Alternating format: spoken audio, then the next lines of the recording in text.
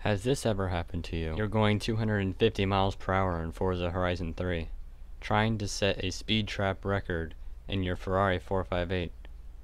All of a sudden there's a roundabout and there's a very skinny wall, just a small cobblestone wall, and that stands in your way. And you go from 250 miles per hour to zero. And that skinny wall stands there like a rock.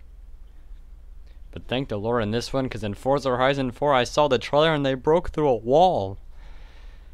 Well, this is good, considering the fact that the most annoying thing in Forza Horizon 3 is hitting a tree that is as skinny as a fan. Or hitting a wall that looks uh, very breakable. And a 17,000 pound Terradyne you hit a tree and it won't fall, or you hit a little wall or it won't fall. But in the trailer in Forza Horizon 4, we saw a very simple, you know, wall. It looked about the size of a Forza Horizon 3 wall, but the thing is, the car broke through it.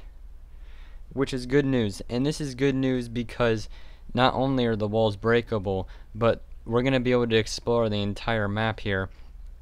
Uh, which means that there's not going to be any walls that are going to like prohibit us from a certain spot uh, because like the lake for example uh, there's a spot in the lake where uh, you can't go when it's not winter, but there's no wall there. It's just you're just gonna go into that lake and you're gonna sink and drown, kind of just like the lake.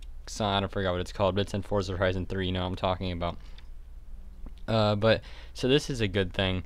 Uh, no more stupid walls. We still don't know about the trees yet, but I'm sure they they made it to where only uh, thick oak trees you can't go through, uh, and that's always a good thing. So, just some more good news that I saw on the Forza Horizon 4 trailer, and I'm uh, hoping you guys are happy about this. I know I am extremely happy about this.